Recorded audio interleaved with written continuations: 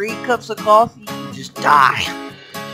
On the other side of the street I knew stood No, I think if you like drink you. three cups of I coffee, I think it deja makes you vu, hot. I thought this can't be true, cause Alright, you moved to West LA, New York,